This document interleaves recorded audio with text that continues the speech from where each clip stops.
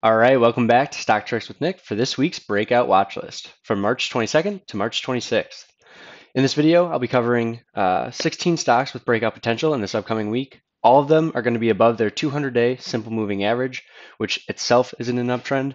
Something that I always look for is the strongest stocks getting stronger, not trying to just buy randomly into the pullback.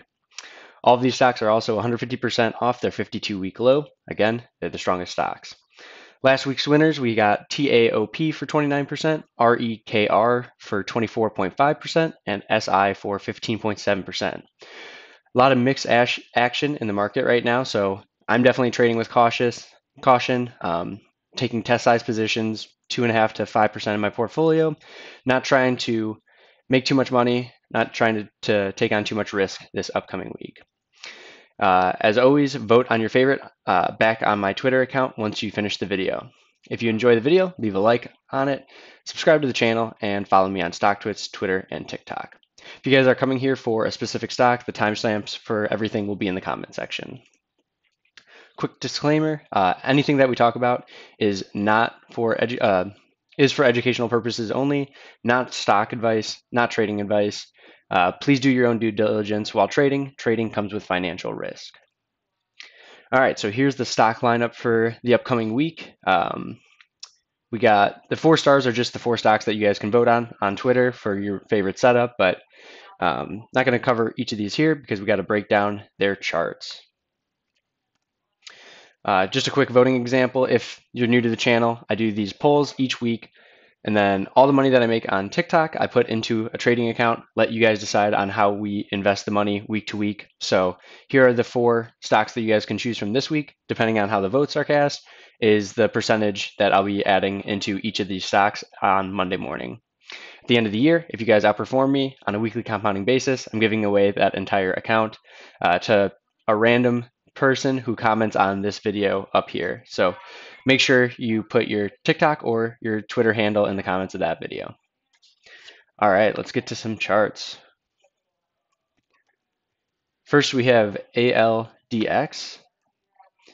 So th this one, we had a very strong move up, about 120%, and then based out since kind of the middle of January here. Uh, if you've been trading around, you notice that all the growth stocks have had major pullbacks, but this one has held up relatively well. So relative strength is always something that I'm looking for. Uh, right now, the ATR, average true range, is starting to come in. That just measures those daily bars. So uh, you can see the volatility is getting a little bit less and less while this range tightens up here. So with this one, I'll be looking to buy if it breaks out above Thursday's high of 1239, so right through here. A break over that would also get us over this volume shelf here, so less resistance up top if we do uh, kind of break through that point. So that's ALDX. Next we have APPS. This has been on my watch list for a while now. Uh, was on it last week as well, so you guys can vote on this as part of the TikTok trading challenge. But uh, nice move in the beginning of February, and then everything kind of got choppy here uh, with the with the growth stocks. What I really liked about this is the first pullback set that low uh, after we punctured the 20-day moving average, rallied back up and closed higher. And then in that second pullback, we actually undercut the low in the first pullback. So anyone who got in um, like around this area probably put stops at the low of the day on uh, February 23rd's low. All those people got stopped out, uh, got shaken out here. We rallied up, and now we're basically in the meat of this volume shelf um, and, and, holding decent action. So with uh, APPS, what I'm looking for is a break over March 12th high of 89.29 uh, right through here. That would also get us above the volume shelf. Next, we have AVYA. Similar story. Uh, zooming out here, you got the 200, the 50, the 20, and the 8, all in the right order for those moving averages.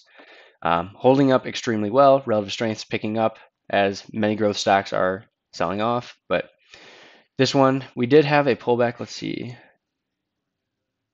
Yeah, pulled back 22% from the high, but just a quick shakeout under previous lows during that pullout pullback.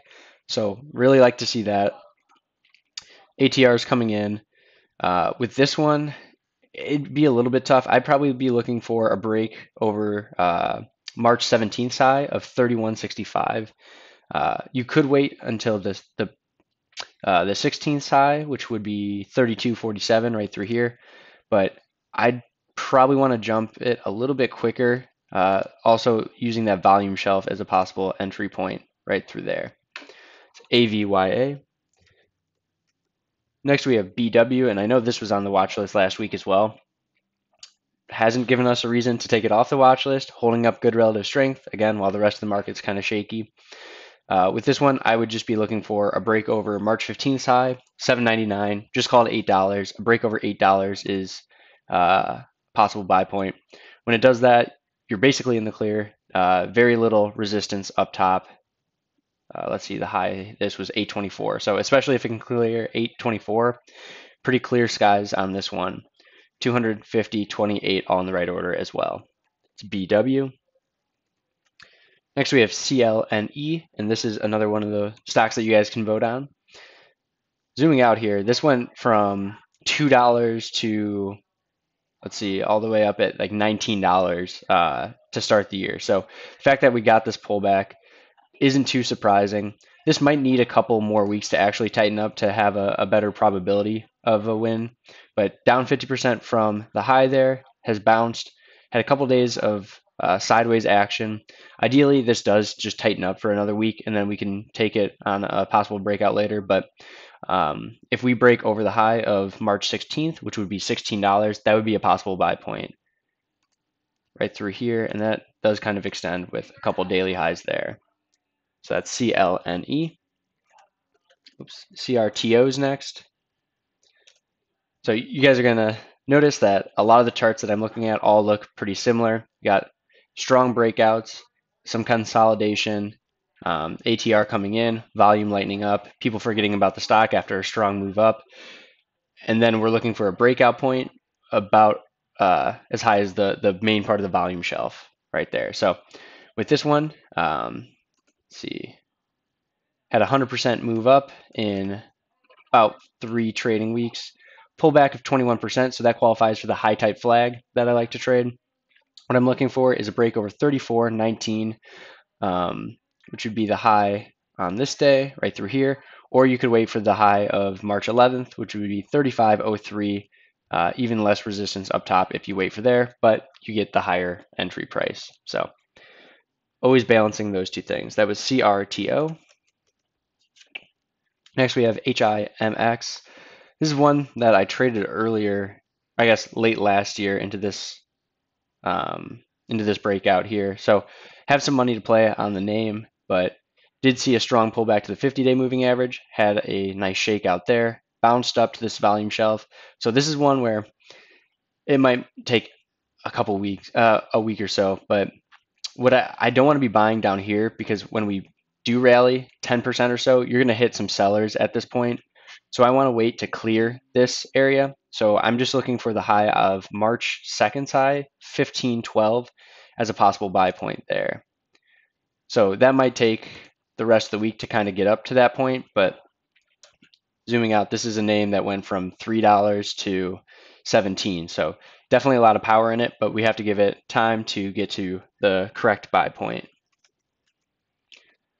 All right, now we have IAC. This was also on the, the watch out watch list last week.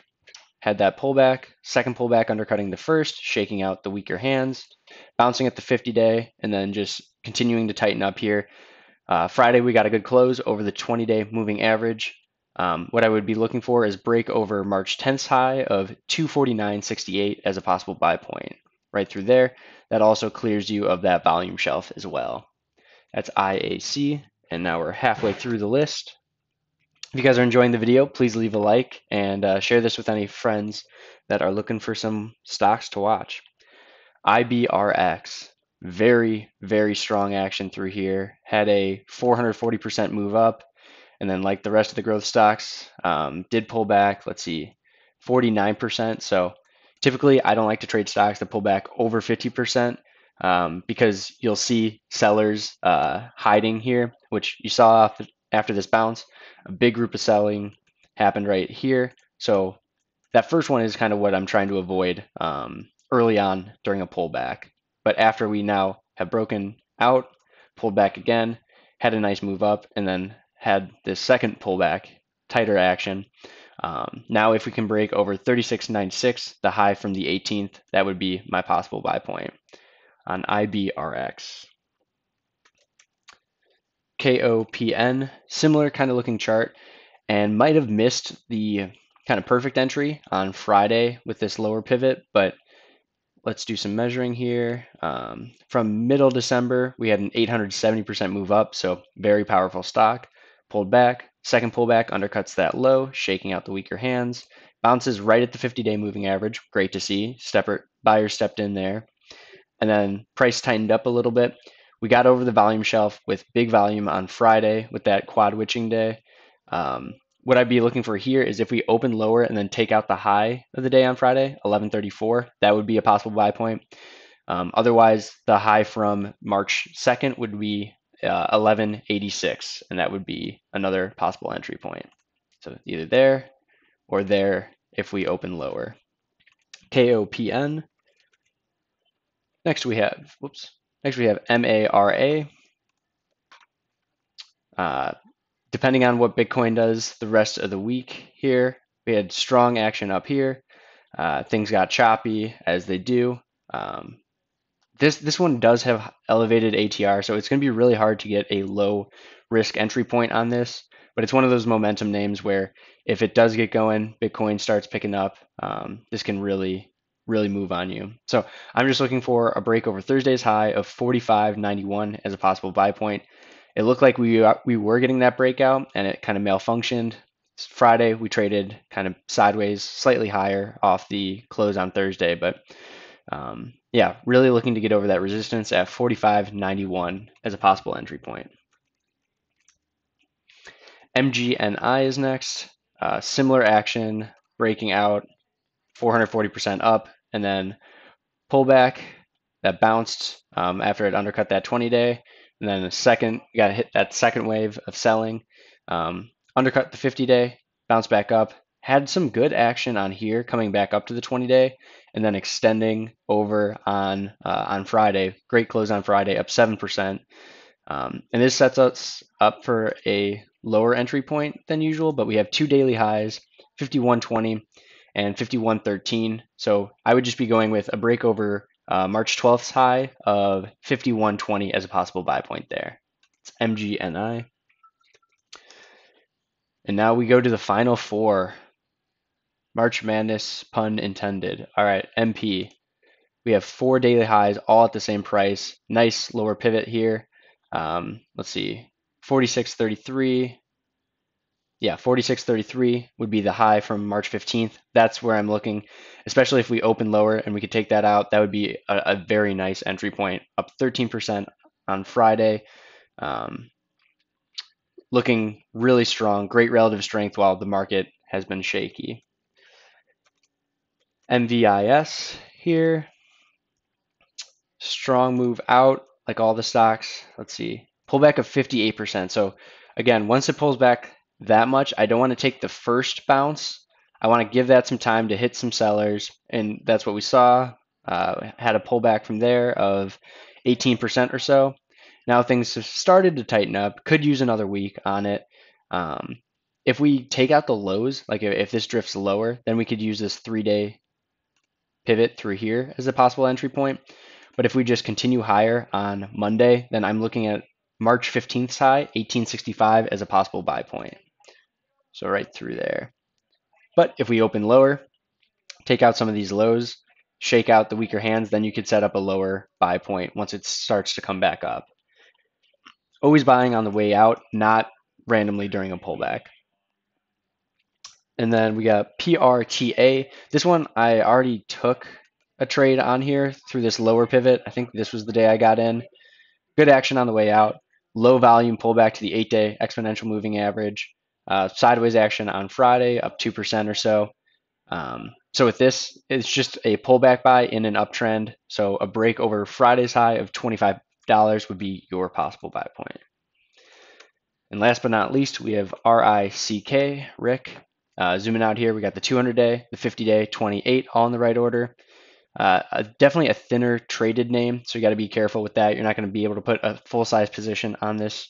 Um, but something that had has been moving up nicely. Come on, there we go. 91% uh, up, and then we had a good shakeout here, 19%. So it does qualify for that high tight flag setup that I like. Uh, undercut all the lows in the most recent pullback on Friday before closing right at that 8 day and 20 day moving average and right at that volume shelf. So I'm just looking for a break over Thursday's high of 68.68 as a possible buy point. Uh, you could pick another daily high to get in, uh, but what I'm trying to do is get in at slightly of a lower price because there's already very little resistance up top on a name that's been holding great relative strength. All right, that is going to be the breakout watch list of the week. If you enjoyed the video, please leave a like, subscribe to the channel, and follow me on StockTwits, Twitter, and TikTok. See you guys next week.